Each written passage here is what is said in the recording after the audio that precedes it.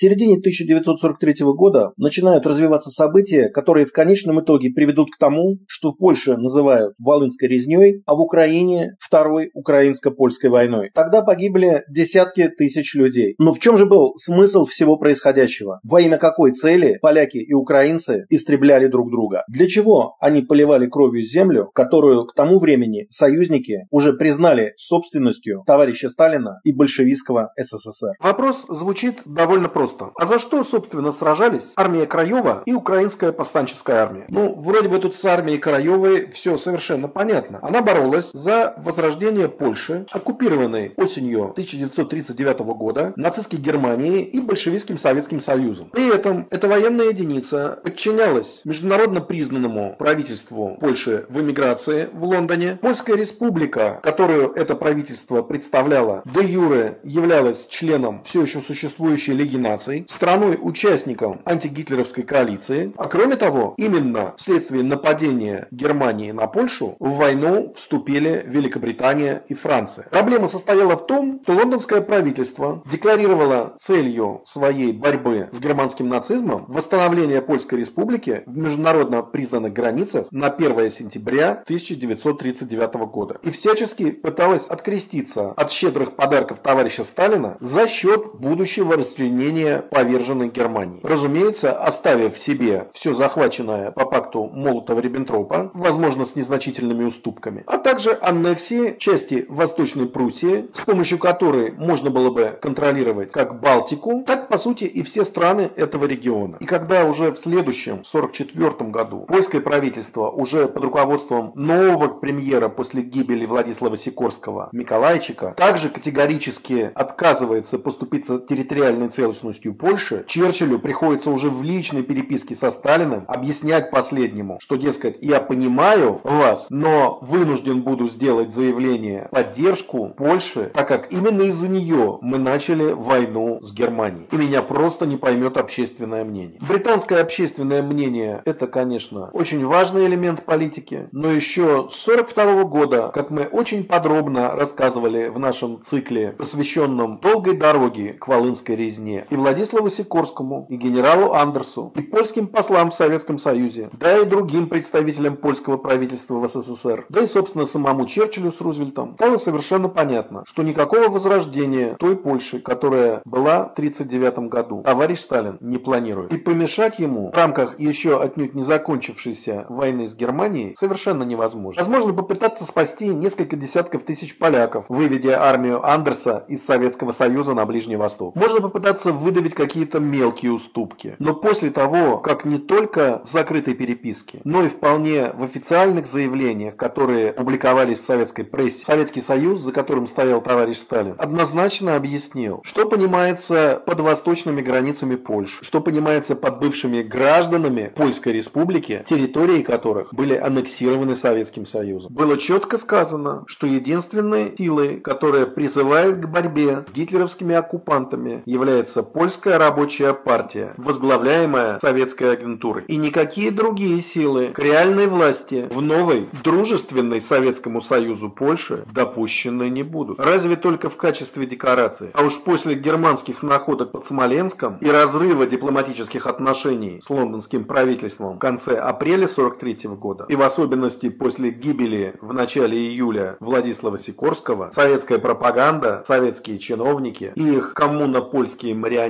просто сорвались с цепи. И польское правительство клеймилось уже в качестве пособников Гитлера. А вождь физкультурников и лучший друг всех народов мира многократно повторял эту ложь в своей секретной переписке с лидерами союзников. И в связи со сказанным, достаточно осмысленные на первый взгляд действия армии Краевой в конце 43-44 году, направленные на превентивное освобождение международно признанных польских территорий до подхода Красной Армии, наиболее яркими примерами чего являются действия АК по освобождению Вильнюса, польского Вильно, и двухмесячная Варшавская эпопея августа-сентября 44 года, когда Красная Армия стояла на противоположном берегу Вислы, не двигаясь с места по приказу товарища Сталина, а он сам из Кремля с садистским наслаждением наблюдал, как его германский враг, бывший друг и союзник, истребляет вооруженные силы его нынешнего второго врага, бывшего союзника, а также бывшее уродливое детище Версальской системы. Бойцы, офицеры, командиры армии Краевой действительно сражались за свою страну, которая у них была и которая была оккупирована. И я очень не люблю давать оценки тех или иных исторических событий, говорить об ошибках, глядя из сегодняшнего дня, обладая сегодняшними знаниями. Я стараюсь анализировать глазами современника события. Так вот, на тот момент только совершенно недалекий человек мог предположить, что на карте Европы снова появится та Польша, которая была разгромлена в 1939 году в тех самых границах. Хотя потенциально это было возможно в том случае, если бы после разгрома Германии союзники каким-то образом смогли бы принудить Советский Союз к подобным действиям. Однако уже во время Тегеранской конференции в ноябре 43-го Сталину удалось выдурить у Черчилля подтверждение возможности переноса польских границ на так называемую линию Керзона с компенсацией за счет Германии, о чем он впоследствии неоднократно напоминал Черчиллю в переписке, доходя до довольно грубого нажима на британского премьера. В дальнейшем на Советский Союз никто нажимать не стал, никаких восточных кресов или Вильна польское правительство в Лондоне не получило, а кремлевские марионетки подтвердили ту границу, которая устраивала товарища Сталина. Так, вооруженные силы признанного союзниками государства Польши во главе с его эмигрантским правительством, во многом сами того не подозревая, сражались за территории, которые им уже не принадлежат, и за правительство, которое до самого падения коммунистических режимов в Восточной Европе не станет властью в стране, которую оно представляет. А что же украинцы? Ну, во-первых, разговоры о том, что это вторая украинско-польская война, на мой взгляд, просто лишены всякого смысла. На тот момент юридический статус Советской Украины был чем-то вроде диацеза в большой большевистской империи. Считать эту провинцию неким субъектом международного права, ну, просто не поворачивался язык и здравый смысл. В настоящий же момент, в 1943 году, это был всего лишь оккупационный рейхскомиссариат Украины. Хотя и с включенным туда Крымом. После провозглашения восстановления украинской державности 30 июня 1941 года и негативной реакции на это германских властей, формально созданное украинское правительство, к сожалению, так и не перешло к каким-либо осмысленным действиям. И поэтому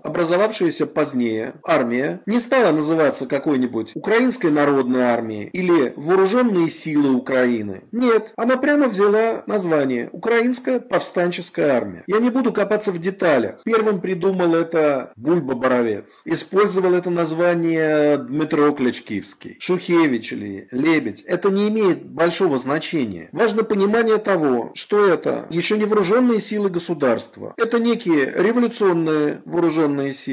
А само действо это некая революция, uprising. И поэтому столкновение с армией Краевой это не украинско-польская война. Это восстание на оккупированных территориях с некоторой целью. В чем же была эта цель? А цель была столь же благородна, сколь и утопична. Создание независимого украинского государства. Я вполне понимаю, почему перед самой Второй мировой войной целый ряд украинских политиков сотрудничали с Германией в надежде, что после возможной германо-польской войны удастся создать какое-либо государственное образование на территории бывших польских областей, преимущественно населенных украинцами, и немцы вроде бы были готовы пойти на такой шаг, но после заключения Советско-Германского пакта, после раздела Польши между этими двумя странами, стало понятно, что интересы украинских политиков отодвинуты на задний план, и что даже на территории Галиции немцы не планируют создание какого-либо украинского государства. Максимум, что получили на тот момент украинцы, это несколько привилегированное положение в генерал-губернаторстве по отношению к полякам. Опять же, исключительно по принципу «разделяй властвуй». Советско-германская война снова возродила некоторые надежды, которые, впрочем, практически сразу же были развеяны, а идеи Розенберга о создании различных государственно-территориальных образований на территории бывшей большевистской империи отодвинуты на неопределенный срок, если совершенно не забыты. Выдержав некоторую паузу, Аун Бандеры начинают накапливать ресурсы и создавать силы для противодействия противникам, теперь уже Германии, Советскому Союзу и бывшей метрополии Польши. На что в тот момент могли рассчитывать украинские националисты в своей идее создания независимого государства. Глядя из того времени, ни на что. С Германией все стало более-менее понятно. Соединенные Штаты и Великобритания находятся в союзе со Сталином и воюют против этой самой Германии. И разрывать этот союз совершенно не собираются. Более того, 30 июля 1941 года восстановлены дипломатические отношения между Польшей и Советской Россией. Причем в официально опубликованном документе сказано, что аннулированы все соглашения с немцами, что для широкой публики подразумевает отказ Советского Союза от территориальных приобретений согласно пакту Молотова-Риббентропа. Разумеется, это не могло пройти мимо политического руководства ООН. А если бы эти ребята смогли бы увидеть секретные дипломатические документы того периода, вплоть практически до конца войны, они бы чрезвычайно удивились, что польскому вопросу в этих документах посвящается довольно много места, а Украина не упоминается вообще. Разве что в контексте этнического украинского населения, которое должно в результате всех переговоров остаться таки в Сталинском Советском Союзе. Тем не менее, в начале 43 года начинается так называемая революция. И формально борьба против Польши, армии Краевой, как и против Советского Союза и советских партизан, кажется логичной. Ведь это же союзники. Значит, они враги независимой Украины. Пусть на первый взгляд нет никаких шансов на ее создание. Но все дело в том, что на тот момент, а на самом деле еще и раньше, в новом польско-советском альянсе начался глубокий раскол. Армия Андерса отказалась сражаться на Советском фронте и передислоцировалась на Ближний Восток. И это также хорошо должно было быть известно украинским политикам. Советы все чаще и чаще делают открытые, резкие заявления